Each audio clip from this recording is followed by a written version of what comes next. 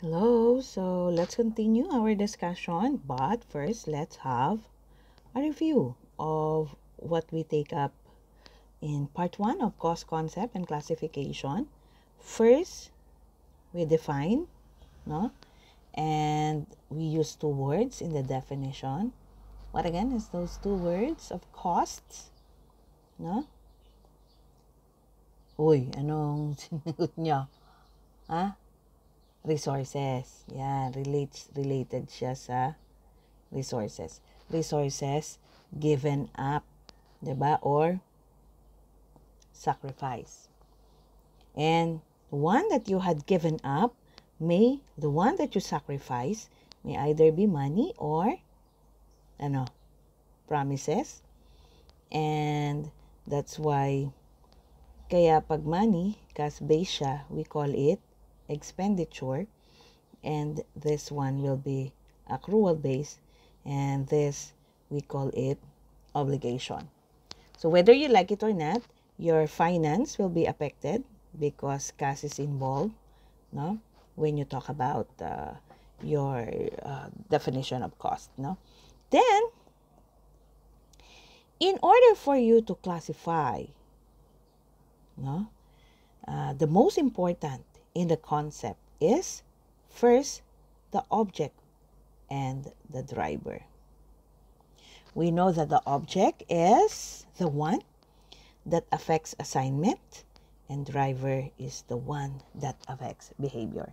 So, sabi natin, inuuna ang object, sinusunod ang driver. And besides, kita nyo, oh, A, B. Diba? Mm.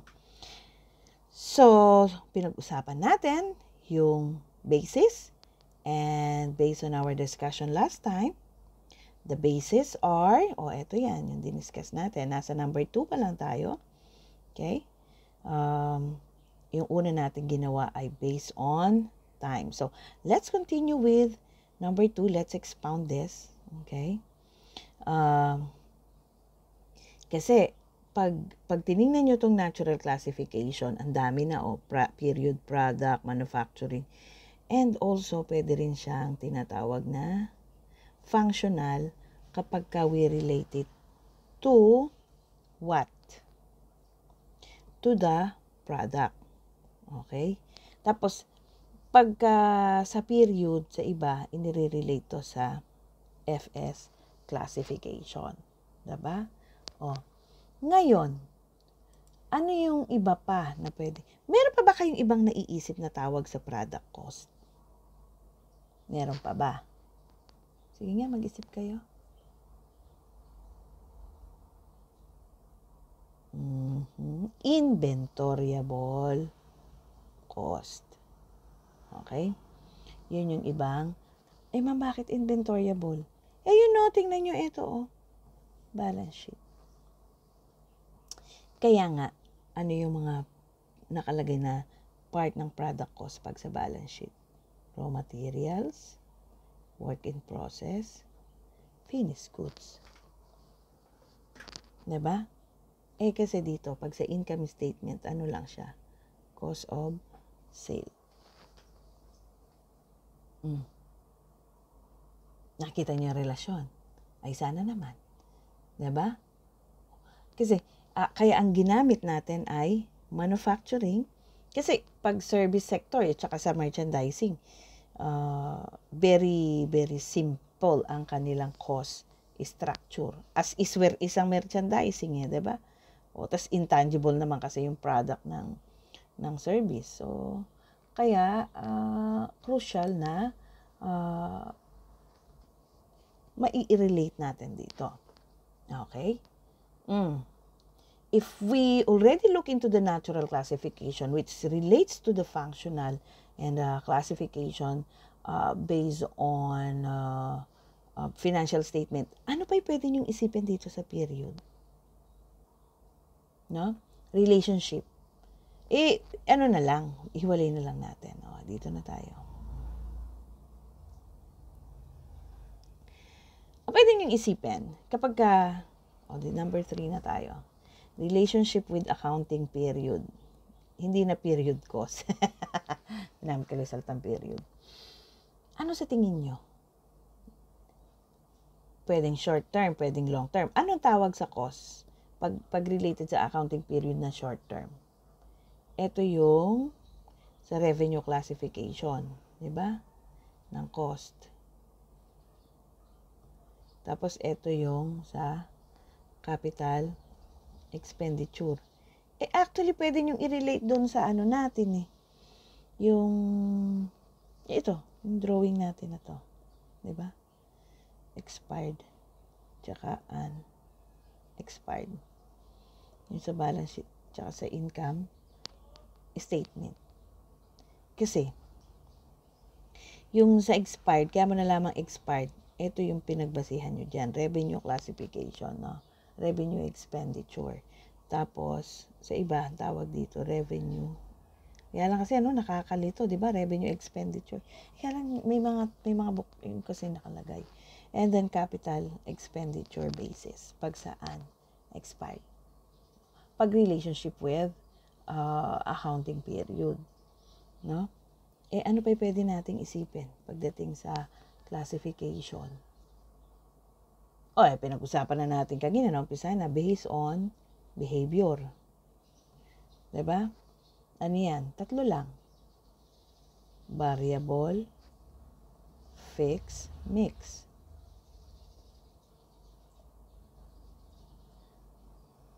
Pwede nyo i-relate ito sa product cost eh. Laging ang variable DM at saka DL. No? Tapos, yung fix depende sa cost driver. At kaya kayo merong mixed cost, no?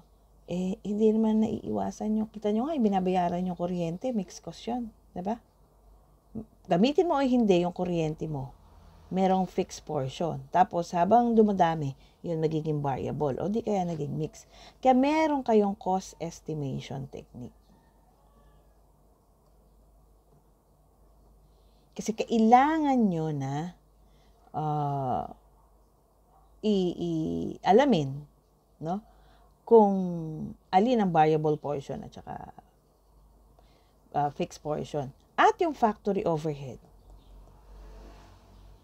sa product cost, mix yan. Meron diyang, uh, mas marami dyan yung mix cost. Kaya ini-estimate nyo siya.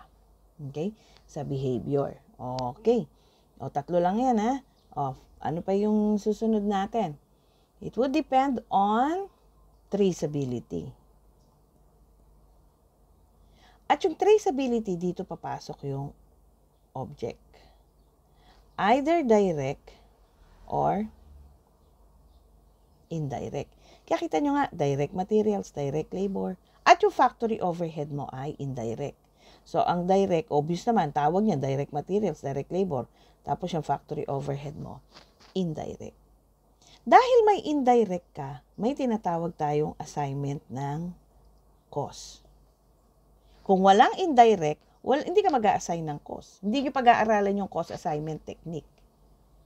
Diba? Ay, ma'am, ano yung cost assignment technique?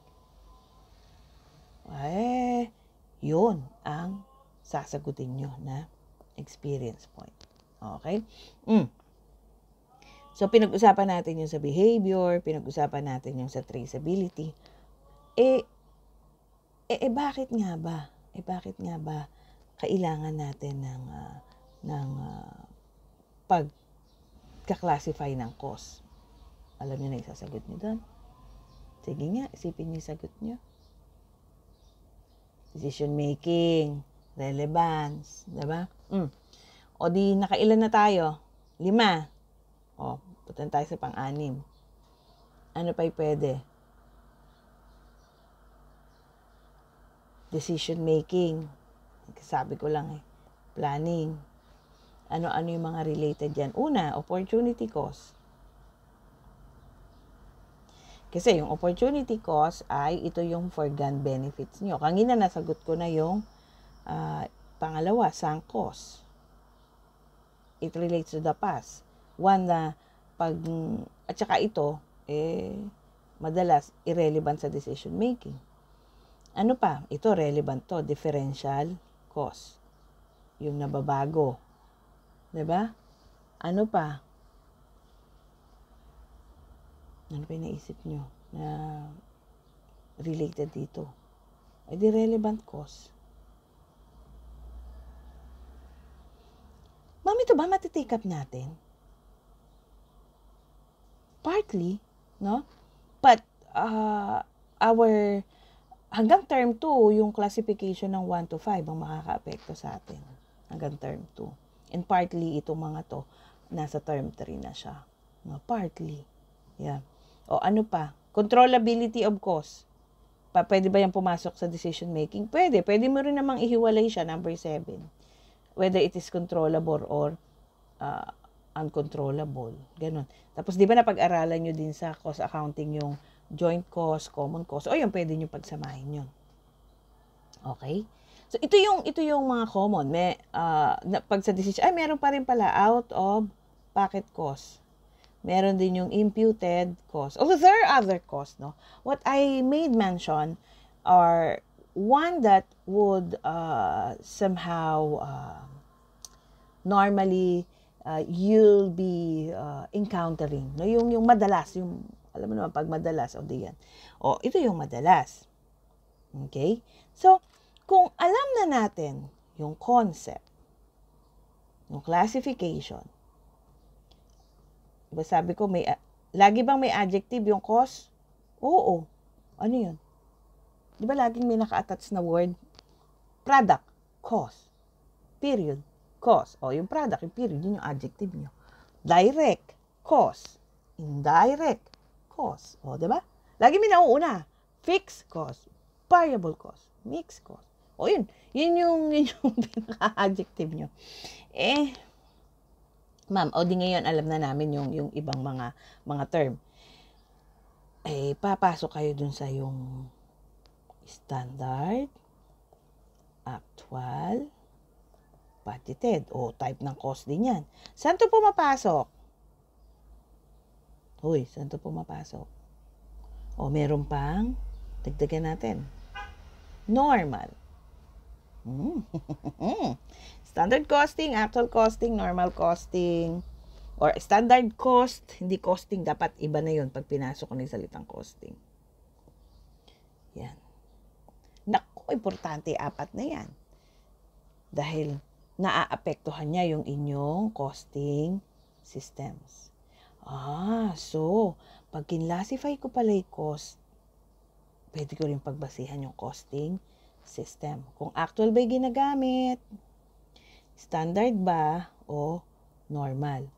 O, eh, lahat to pinag-aralan nyo, no, sa cost accounting sa cost accounting kasi dito nakapali dito naka naka libot 'yan sa tatlo na 'yan. Yan, no? Yang inyong uh, actual normal standard na naaapektuhan ni ito naka ito yung pinaka-input niyo diyan. No? Kapag ka nagno-normal costing ka at kapag ka nag i-standard costing ka. No, si budgeted cost. Okay. Eh, ano naman yung susunod namin concern? Kung alam na namin yung concept and classification, nako, eh, ang iisipin mo na ngayon, cost control, cost reduction, at yung isang pinag-usapan natin, cost management. Okay? Oh, define nyo bawat isa na to, ha? magiging ano nyo yan. Mm. So, let me end at this point. Um, but you have to uh, remember that cause is about, all about what? There will always be a different cause for different purposes. So we should know what an adjective, what the adjective is. And dahil ito ay accounting, then time is crucial when we are looking at cost is the output with us is decision.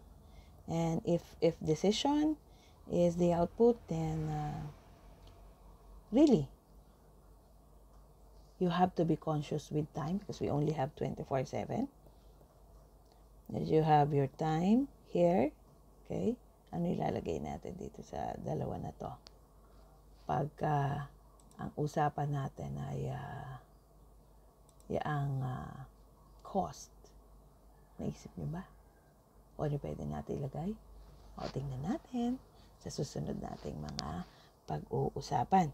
Pero, oh, ano nang, paano natin ipapasok yung tools, input, process, output. Ano naging input natin dito sa cost concept and classification? Anong tools ang gagamitin natin sa classification? Hmm. Ang tools na gagamitin natin sa classification is knowing what an object is and what a driver is. Definitely, the input will be the activities performed by the organization, which is actually transactions. The process will be what? Classification. Okay. And what will be the output? decisions. No? Uh, if you are in strategic cost management. But if you are in cost accounting, this will be your either, okay, either recording, classifying, and summarizing because decision will be related already to interpreting. So, ang strategic ay, yan, mag uh, maapektuhan niya yung decision making. Okay? Pero whether you like it or not, we need to uh, have the result from cost accounting. Okay? Thank you and good day.